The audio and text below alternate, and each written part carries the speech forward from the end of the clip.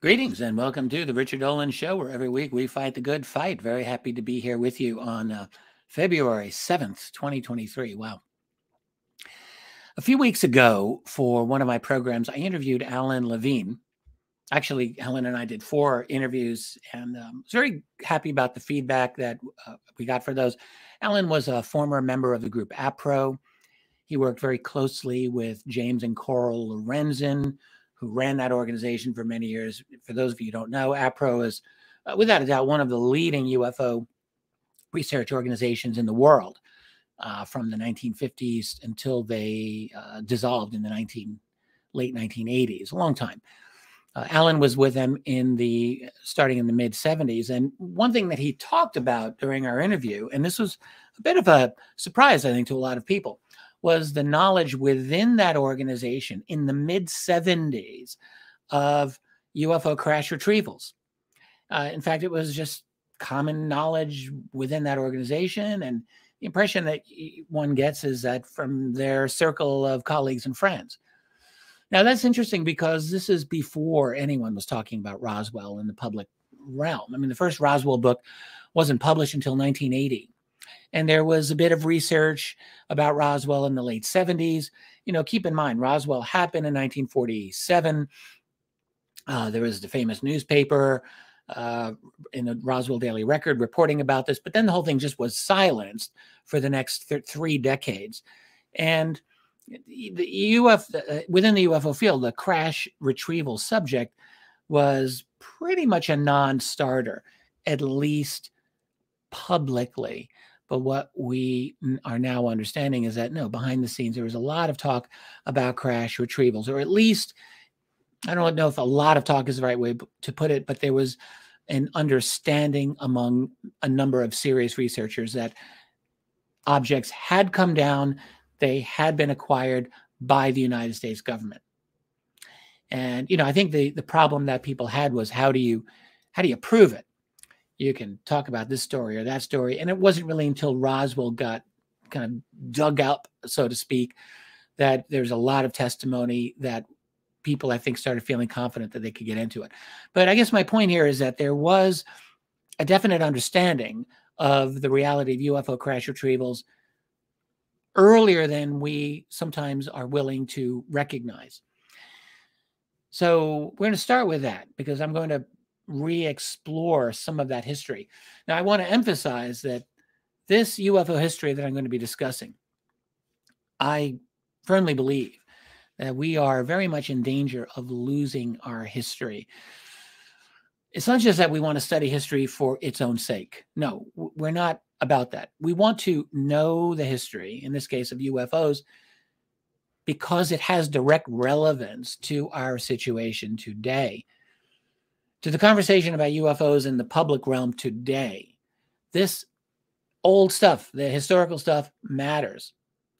I feel that we're moving into a time of what just seems to be genuine historical amnesia. And when that happens, when we lose our heritage, when we lose our history, we are so vulnerable to manipulation from unethical and self serving purposes. It happens all the time. We don't want that to happen. It all comes down to self knowledge.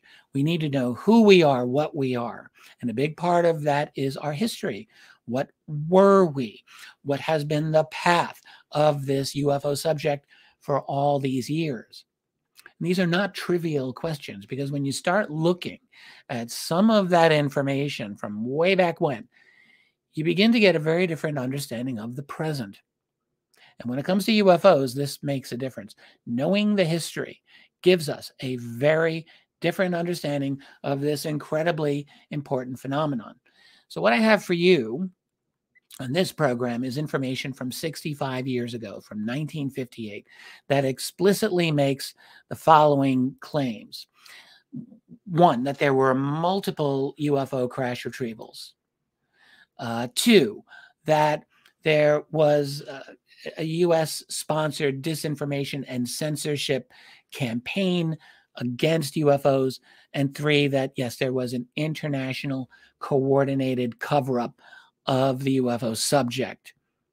And the, the man that I'll be uh, focusing this, this presentation around for uh, this evening is this gentleman here, Dr. Olavo Fontes of Brazil.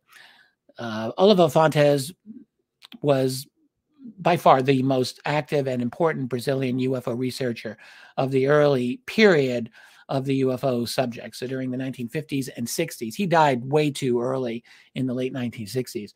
But Fontes was the main uh, correspondent and representative of the organization APRO, which I was just talking about, in Brazil. So uh, Fontes wrote regularly to uh, Coral and Jim Lorenzen, who ran APRO, that stands for Aerial Phenomena Research Organization.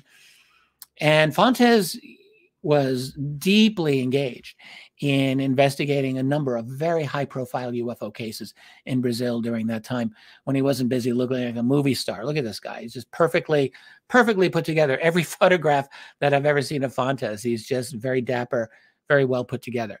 But he was a first rate UFO investigator. And I think outside of Brazil is not really appreciated nearly enough for just how great he was for what he did. So I will be talking about uh, a very long letter he wrote in early 1958 to Coral Lorenzen.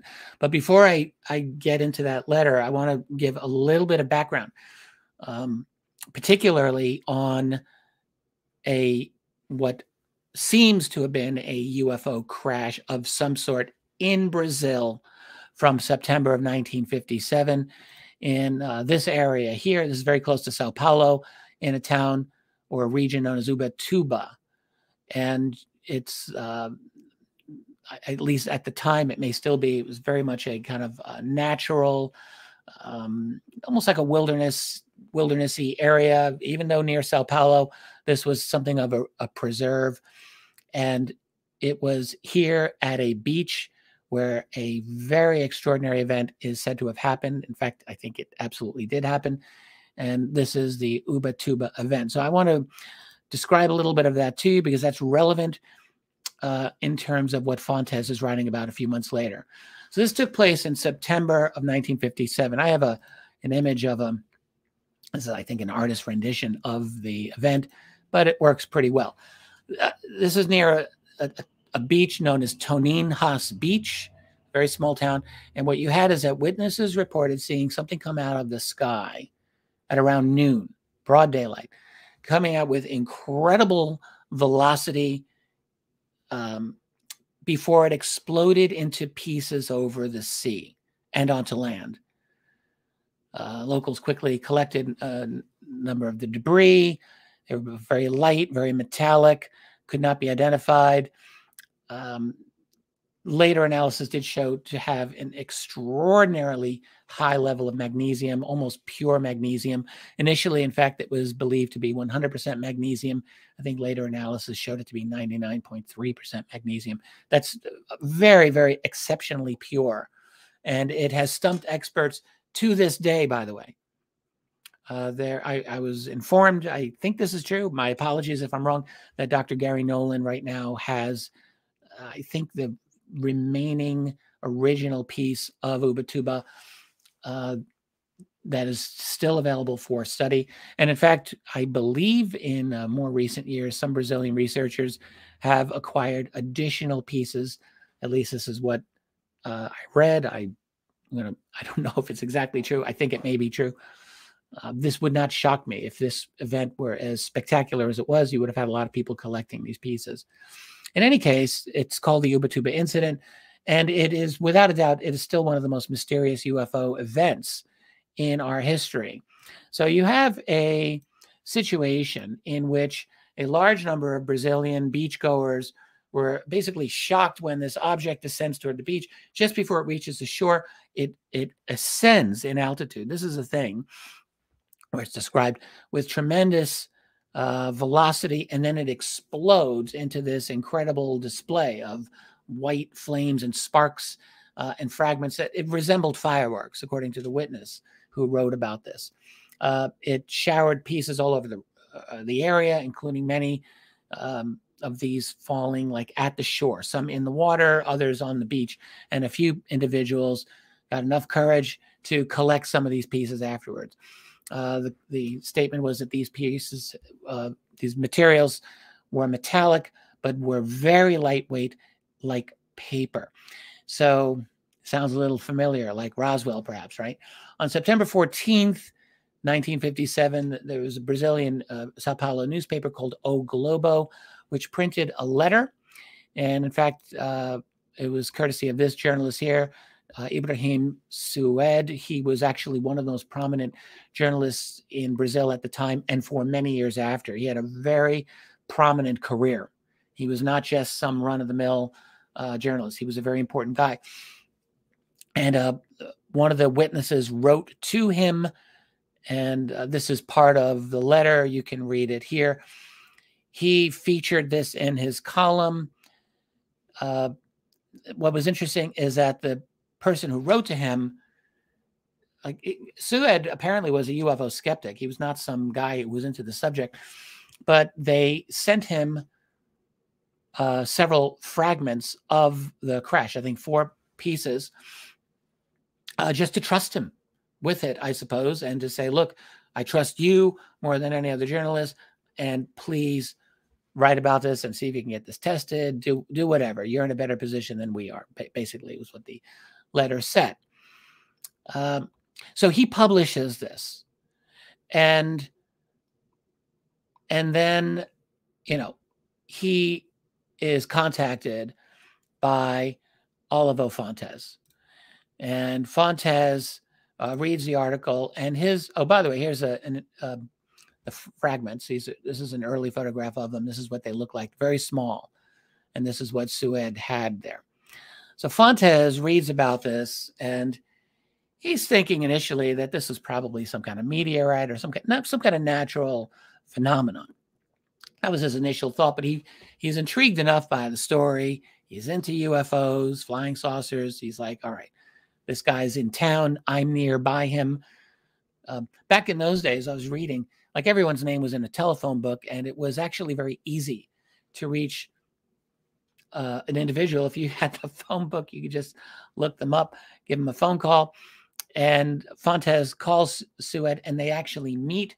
Uh, Sued is impressed enough by Fontes' uh, dedication that he's like, Look, I don't, this is really not my interest. You want to study this? Have at it. Here are the fragments. So they um, Fontes describes this. He says they were like a dull gray, solid substance. The surface wasn't glossy. It seemed cracked by oxidation. The images that we have here, I'm not really sure how old those were at the time that they were uh, photographed. So forgive me for that.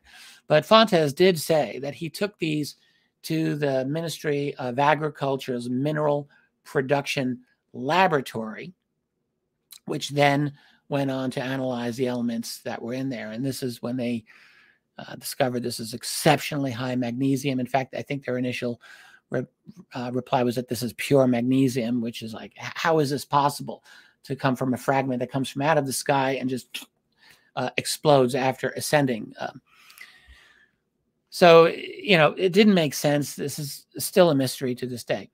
In any case, now several months have gone by, and Fontes is writing an update to Coral Lorenzen, who, of course, co-founder of APRO. And this is a letter dated February 27, 1958. And in fact, um, I believe I have an image of the letter here.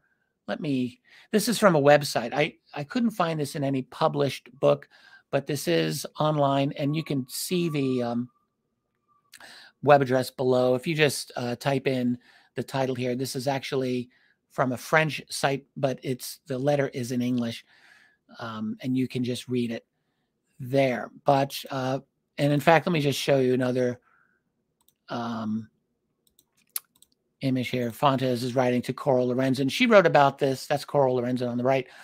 A book called Flying Saucers: The Startling Evidence of the Invasion from Outer Space. Kind of a dramatic title. This is actually a reprint from an earlier book she wrote from the early 1960s under a slightly different title. Uh, which was called the UFO hoax. Not that UFOs were a hoax, but that the cover up was a hoax. That was her rather uh, kind of a difficult title. And I think that's why they renamed this book. But anyway, she wrote about uh, some of the Ubatuba event actually a lot of it in this particular book. She did not have Fontes' letter that I'm about to uh, refer to. So he writes to her on February 27, 1958. And he's basically informing her a, bit about uh, some of the Ubatuba drama that you know followed up on the, his investigation. And what he says is that at uh, 6.30 in the evening in his office this is late february 1958 his nurse had just left he's a doctor he has a practice so his nurse had just left. He's alone and he gets a visit from two men in his office. They apparently show their credentials as intelligence officers with the brazilian navy.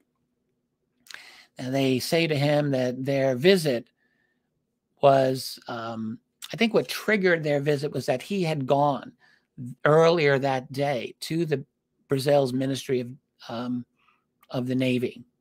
They had an office there. He was there, and so that's why they said that they were there. He had gone there. That's what he said to Coral Lorenzen. Uh, but obviously, they also knew a lot about his uh, work as a UFO investigator in general. As he was looking at the Ubatuba incident, he was also looking, and I'm going to talk about this a little later, he was then just starting to look at an incident at a nearby location at a place called Fort Itaipu, in which two soldiers got very badly burned from a UFO. I, I will talk about that in a minute. Anyway, initially they come in and they're friendly, but they then basically give a chill to him. They make it clear that this was not a social call. And what they say to him is uh, I think this is the slide here. Yes. Uh, you know too much about things you are not entitled to know. We don't like that. Besides, your activities concerning the those fragments you possess are very undesirable and might be dangerous to you. We would like to warn you to stop all of your investigations connected with these fragments. We request also the samples in your hands, in your possession, perhaps, to be delivered to us as soon as possible. So I, I, think the English translation is a little awkward, but Fontes is translating this into English for Coral Lorenzen. This conversation obviously took place in uh, Portuguese. And, and I just copied this uh, part that he wrote here, which I just love. He says, I interrupted him at that moment. I was not frightened, but angry and trying hard to control my temper. My dear friend, I said, I'm afraid you don't have any conception of what country this is this. This is a free country, and you aren't entitled to say what I can or can't do. If you came here to threaten me, you can stop now and go out through that door and tell your military chiefs I have no fear of their ridiculous menace. I also have friends in the armed forces and elsewhere, and I know they have no power to interfere legally with my activities. Uh, how do you not love that? This is 1958, and he's he's still in the era where people were like, "Hey, we have rights, we have freedoms. You can't tell me what to do." Uh, how do you let? How do you not like that?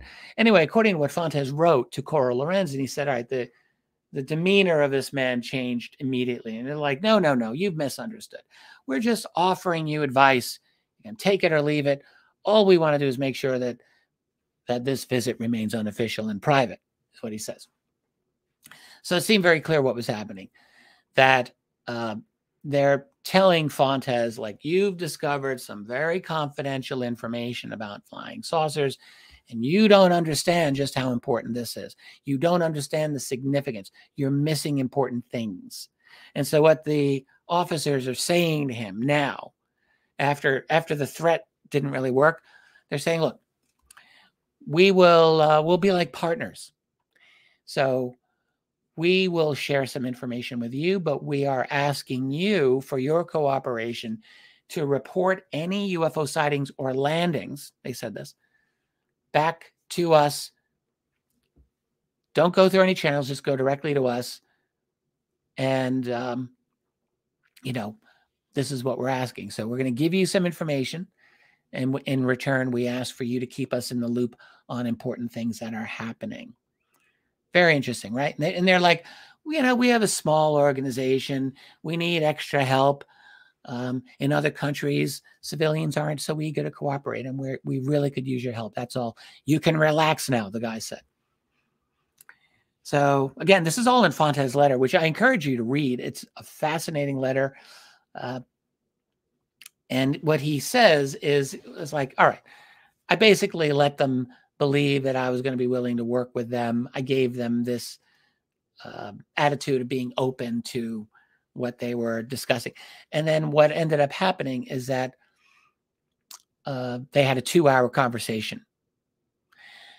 So in the two hours, Fontes writes to Coral Lorenzen and he says, This is what they told me 11 points. So this is point number one, which is that uh, you know governments and military authorities around the world know that flying saucers exist and that they are from another planet. Uh, apparently, they have absolute proof of both of these facts. Uh, second, there were six flying discs already have crashed on this Earth. This is 1958, and were captured and were taken apart. He said by militaries and scientists of the countries involved. He said under like extreme uh, security to keep this absolutely secret. And he gave some information about where these discs had crashed, or at least the, the Brazilian Navy guys gave Fontes information, which he then relayed to Coral Lorenzen. Uh, one, so we're talking 1940s and 50s here. One supposedly crashed in the Sahara Desert, but was too destroyed to be of any use. He said three crashed in the United States, two of them in very good condition.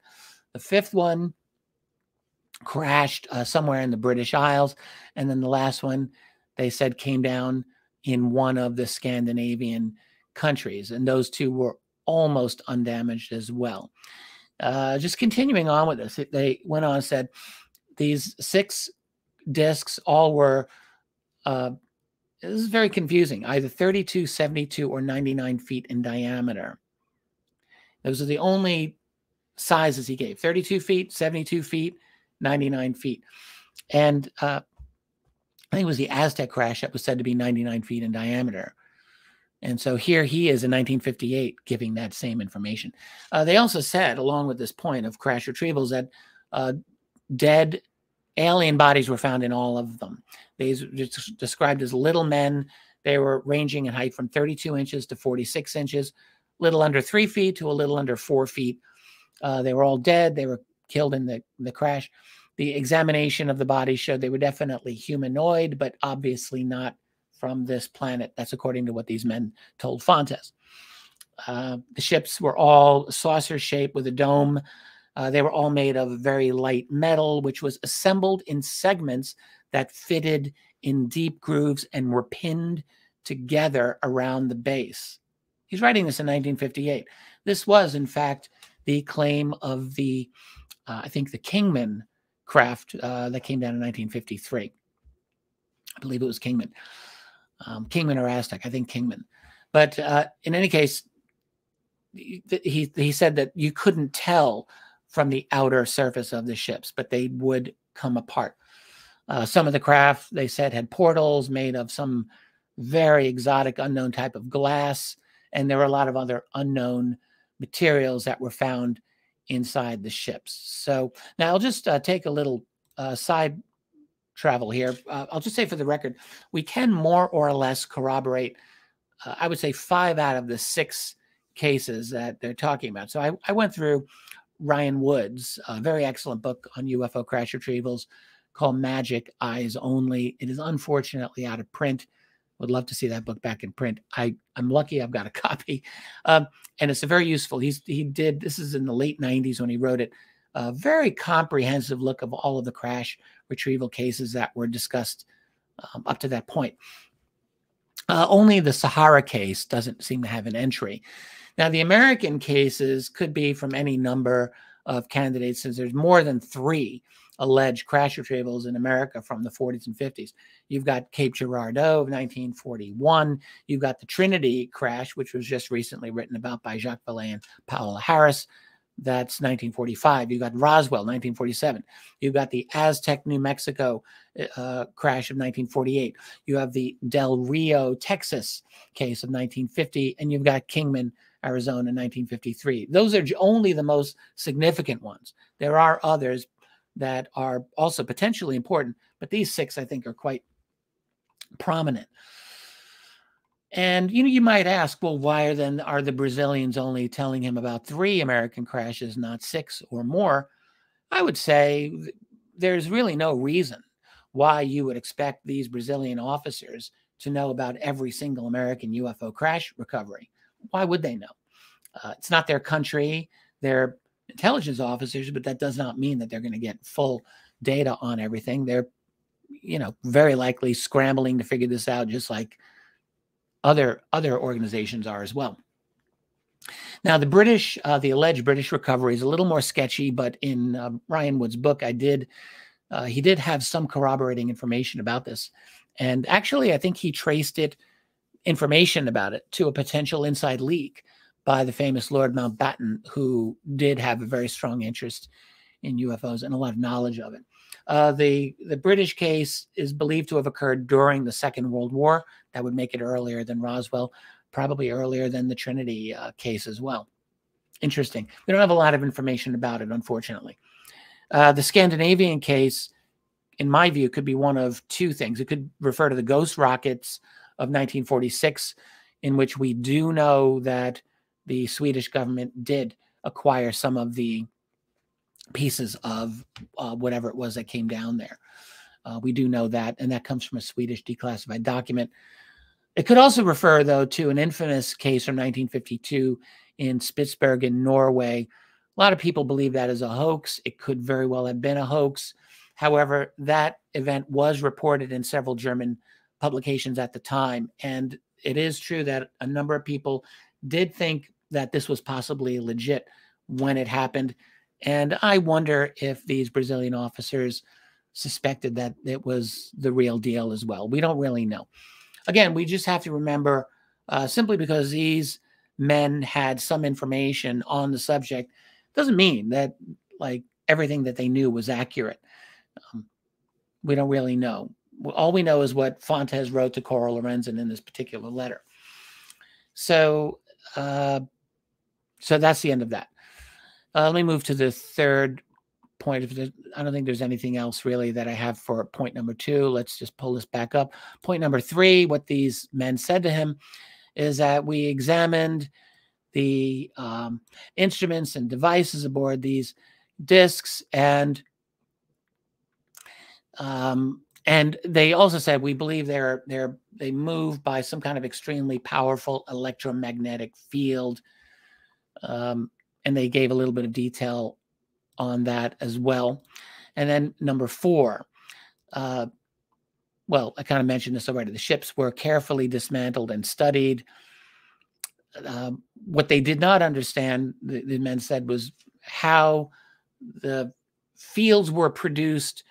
Uh, like, what was the source of the tremendous amount of uh, energy that would be released through these fields that allowed these craft to to go? Uh, they didn't have any clues. They didn't really know where they got their power from and and so forth. I mean, there's speculation that this was some kind of nuclear engine, but I, you know, I don't think that these Brazilian officers, at least whatever they told Fontes, didn't really seem to indicate that they had a clear idea. Uh, point number five: the scientists believe that they could find a way that it would be possible to do this, but they didn't know yet how to convert energy this part confused me a little bit because what they said convert energy from a nuclear reactor directly to into electric power. Uh, I always thought that's what nuclear power plants do exactly. And there were nuclear, uh, there was nuclear power by the late 50s, but um, maybe they're talking about something else here. I'm not really quite sure. Part number six, point number six, uh, there had been a number of attempts to shoot these objects down. They generally were not successful. And aircraft had been lost. Multiple aircraft had been lost in the attempt to do that. And, you know, basically they were saying our militaries are just totally outclassed by these things. And in fact, there were attempts to use guided missiles to shoot these. That did not work either. These craft are way faster than even guided missiles. And so that's that. Uh, they also actually went on, they said, look, these things have the ability to paralyze um, our electronics, our electrical systems, our radar. Uh, they can interfere with our radio and television apparatuses, our, and they can uh, short circuit our our electric power plants, uh, that type of thing. Uh, he goes on, point number seven. They they haven't shown any interest in contacting us, at least up till now. Um, the, guys, uh, the men said well, they're obviously preparing some kind of planet-wide, huge military operation. Uh, they were actually expressed concern that they were in danger from these aliens. Is there going to be some kind of war? What what's this going to be? We don't really we don't know that they're hostile, but we don't like the way it looks. Essentially, is the impression that they gave them. Uh, they said that there's international cooperation from militaries and governments around the world. They are being informed about the situation. There's an exchange of information through intelligence services and top secret military conferences were being held every now and then or periodically to discuss any new developments going on. Uh, in fact, they said the Brazilian Navy receives monthly, this is 1958, monthly classified reports from the U.S. Navy and report back to the U.S. on any additional information. And um, and they said there's similar contacts existing between our Army and our Air Force. And they said similar other or several other military organizations in other countries.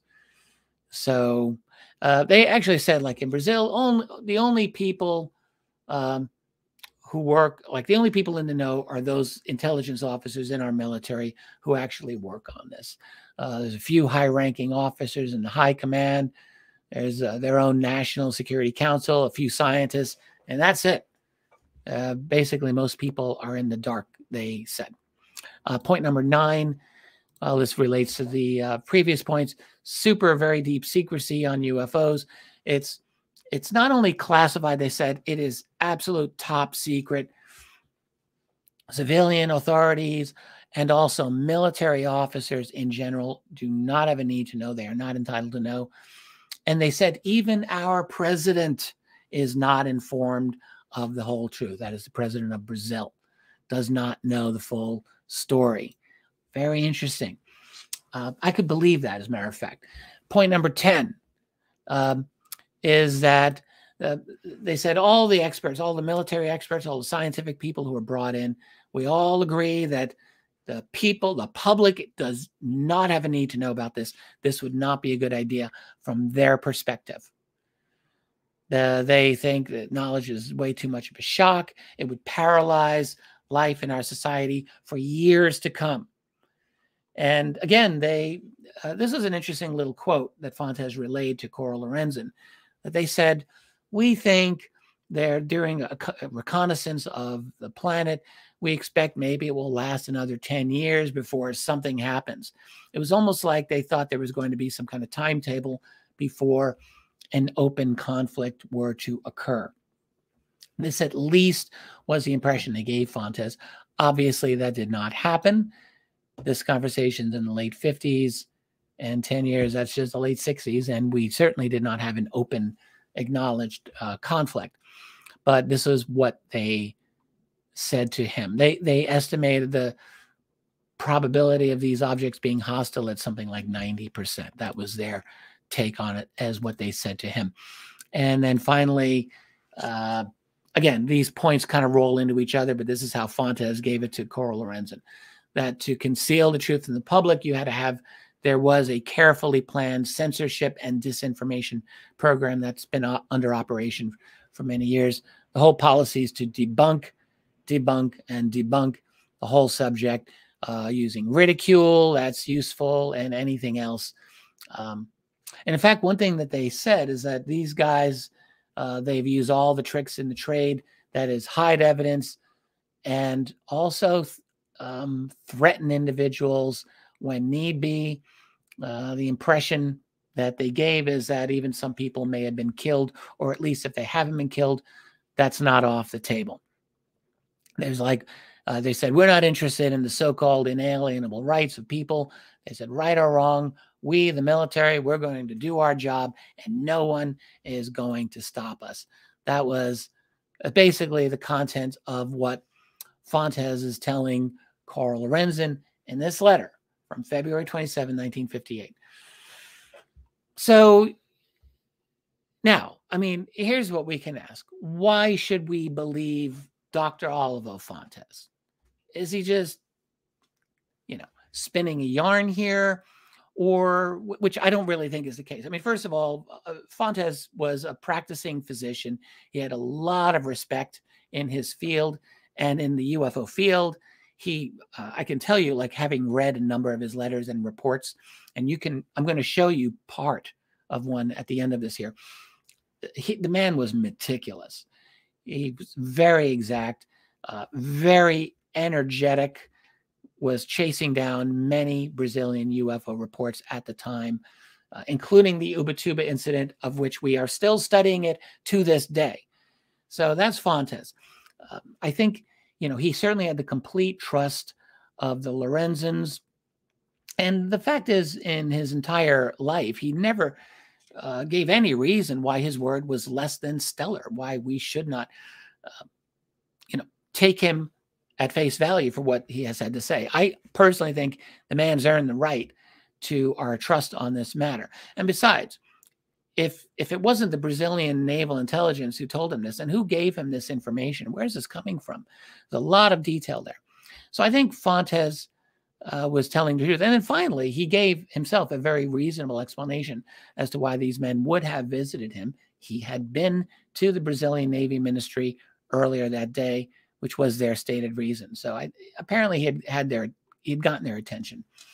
Now, if we choose to believe all of Fontes, and I I do choose to believe, I totally believe the truth of that letter. We we could ask why would these naval intelligence guys have spoken to him. Why? Well, the, the first obvious reason is that they wanted the fragments of the Ubatuba crash. That was clear. Failing that, they clearly went to plan B, which was that they wanted to win him over. They wanted to make him compliant with them. Doesn't seem like that succeeded, but that was their goal. So to do that, to get him on your side, you got to give something to get something.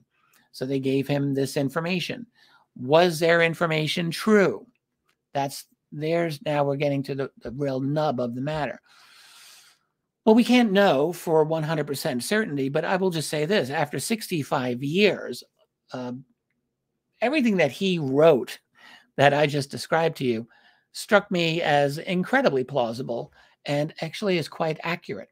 I think it describes the UFO situation of today pretty darn well. And what's remarkable is that this is from early 1958. Again, 65 years ago.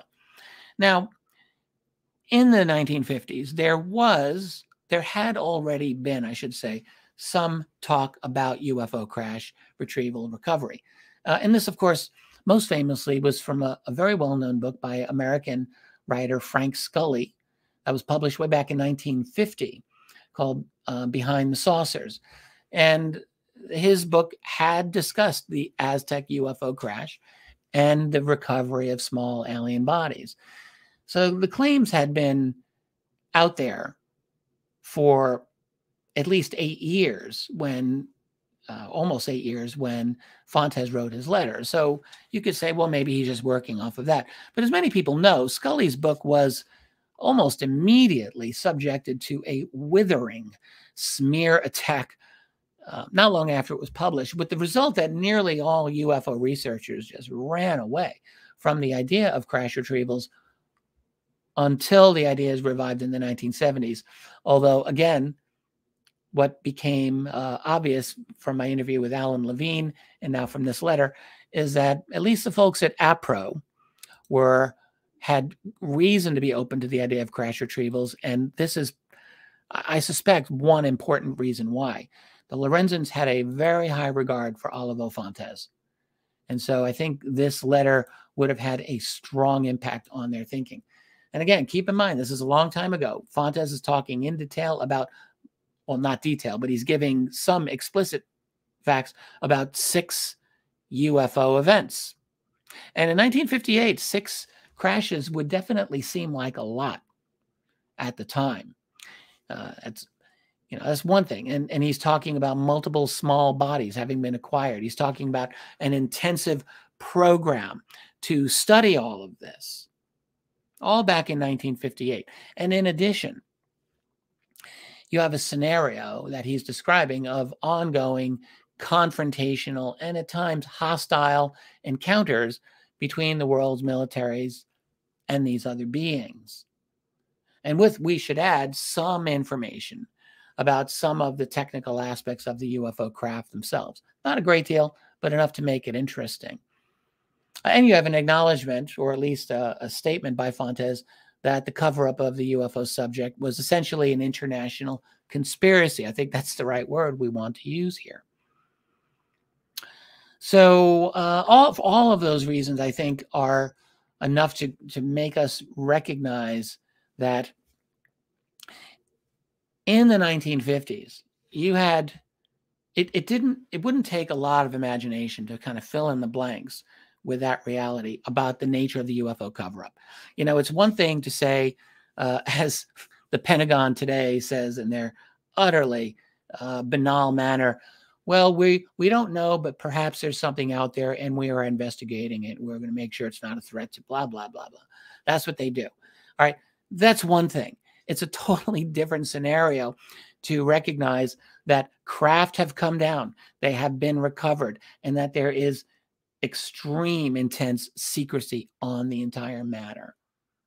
That's a very different scenario. And this is a scenario that uh, I have believed is the truth ever, ever, since I started researching UFOs in the 1990s. And here we have Olavo Fontes describing essentially that exact scenario back in the 1950s. I think it's fascinating indeed. Now, one more element to this story that I find fascinating, I suspect you will find fascinating. So by the time Fontes wrote this letter to Coral Lorenzen, again, we're talking February 27th, 1958, Dr. Fontes had been investigating just recently, had started to investigate another very dramatic event in Brazil from nearly the exact same part of the country, Sao Paulo metropolitan region. And this is the incredible story of what happened at a place called Fort Itaipu, right at the Atlantic coast. Uh, I have a is an artist's rendition of what we're about to see. This is happening at two in the morning on November 4th, 1957. And uh, I took this, uh, I adapted this, or I took this from Coral Lorenzen's description in her book. She did a very detailed description of the event, all based on Fontes' analysis. What had happened is that this happens in November, and it was three weeks after this event happened that one of the officers at the Army base contacted Fontes and told him what happened. So he, uh, that's by the late November of 1957. So Fontes was just learning about this. As it turns out, it would take him uh, almost a year and a half, actually more than a year and a half, to get some good corroboration on it. But he did get that corroboration, which actually completely supported the initial story that he got. So what you really have is on a, a very hot, dark night. Remember, this is November, but in the southern hemisphere, that's summertime. Uh, there was no moon out, so it was very dark. You have two sentries at this fort. This fort apparently had been built uh, several centuries earlier, and it still had, I think, uh, the impression I got is that it had some old-fashioned cannon out there.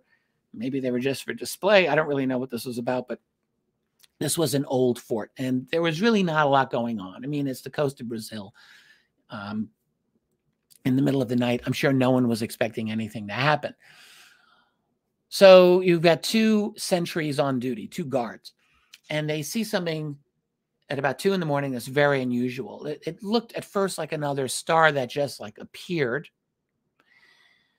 but it turned out to be something else entirely. This it, it was an incredibly bright object that started moving toward their location at a very high rate of speed. And in their opinion, as they stated later, nothing that they knew of could fly this fast. So they were in a kind of state of awe at that. And then within seconds, this object is over the fort. It basically stopped over the fort and then it slowly drifted down. It had a very intense orange glow around it, which is indicated in this image here. And in fact, uh, it, it threw shadows behind the men. So it was bright, a very bright glow. It was hovering at about 150 feet above them. Uh, well, 120 to 180 feet. So split the difference, about 150 feet. It's very low. It was motionless. The the sentries are at this point they're in a state of absolute shock, uh, and the object was described as pretty large, about the size of a large aircraft, but it was it wasn't the shape of an aircraft. It was round. It was disc shaped. This image doesn't really indicate that, but they said it was disc shaped, and there was this orange glow around it. So it had been totally silent upon the approach, but now that it was close, the men heard a distinct humming sound coming from the object. So it's over their head, and, and nothing happened for about a minute. And then, then it things really get crazy. So first they started hearing a faint whining sound. And then right after that, this incredible uh, wave of heat hit both of the soldiers. Extremely intense. Like like the experience of being on fire that level. Like they said it was like fire burning all over my clothes one of them said. Um, you got this ufo that's humming and you've got this intense heat and and these two men go into a state of total panic. Uh, one of them like he said my only goal is to just get away from this this invisible fire that's burning me alive.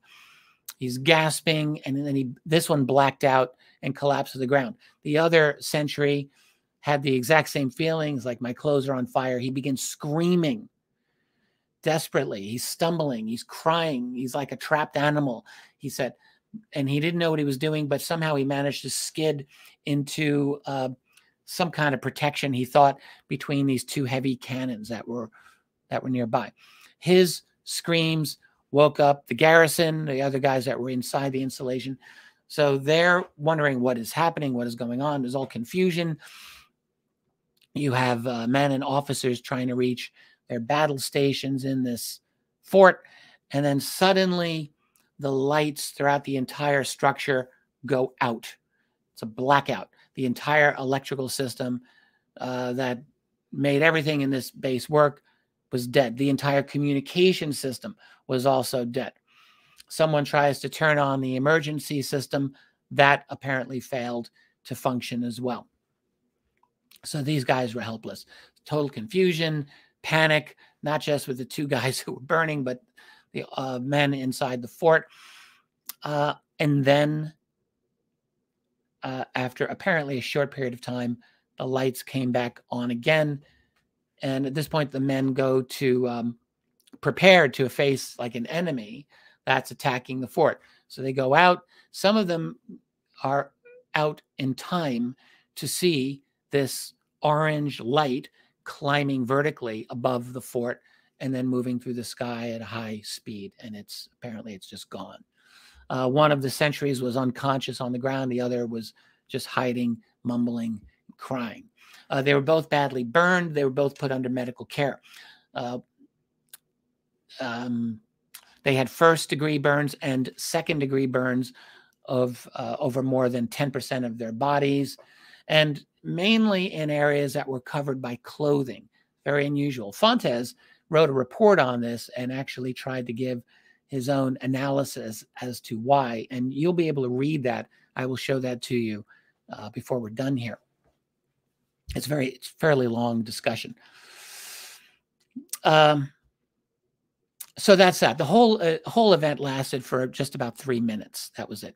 So the very next mornings, November fourth, nineteen fifty-seven, the fort commander, who was a, an army colonel, uh, orders everyone like you are not to discuss this, not with anyone, not with family, not with relatives, nobody. uh, intelligence officers come to the base, they take over, they're working frantically to stop everyone from talking. Uh, a top secret report was said to have been sent to headquarters. And then a few days after that, the Americans arrive.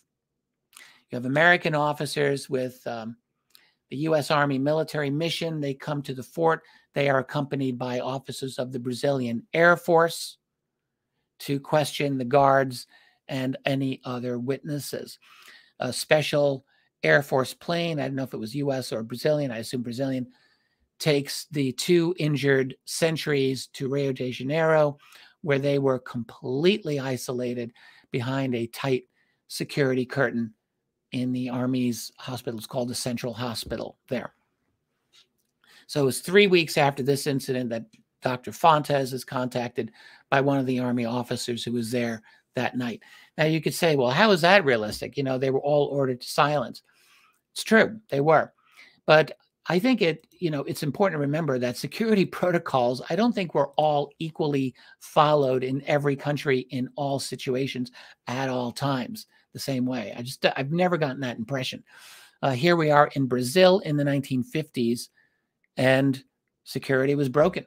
I think it's as simple as that. Someone wasn't supposed to, but they contacted Olavo Fontes. And uh, he couldn't, he did go to uh, Central Hospital. He was not able to uh, see the soldiers there or meet with them. He did learn, he did get confirmation that there were uh, those two sentries who were there. Um, by the time he was writing to Coral Lorenzen, I think he was unsure where they were, but for two months they definitely were at that hospital. Um, the only other fo- uh, follow up on this, Fontes himself was glad to get the one report, but that was not enough for him. So he really tried to work this case, and it was he's a very was a very meticulous uh, researcher. It took him more than a year and a half, where he finally was able to fully establish that those soldiers were definitely there. He, he believed that they were there, but then he somehow got confirmation. And then it was in May of 1959, this is 20 months after the incident, that he finally located and interviewed three other officers who had been present that night. And, and what he said is that their story corroborated the first one in um, every detail. So that's that's that whole event. Um, he wrote an analysis of the technology that might have been able to do what was described in that report. This was reprinted in Coral Lorenzen's book um, from 1962 and 1966 the 1966 version I'm going to show you right now. It's called Flying Saucers, the startling evidence of the invasion from outer space. And I'm just going to show you this. I'm not going to read it to you, but for those of you who want to screenshot this, uh, I think the, let me, yeah, this is uh, the best resolution I could get. These are the first three pages and you can sorry about my logo covering a little bit of that but i think you, you should be able to read it and here are the next three pages and you can screenshot this uh, presumably and read these um, pages of Coral Lorenzen's book where she discusses this incident and Fontes's report. This is Fort Itaipu. This is not the Ubatuba incident. Fontes was investigating both of those at this time.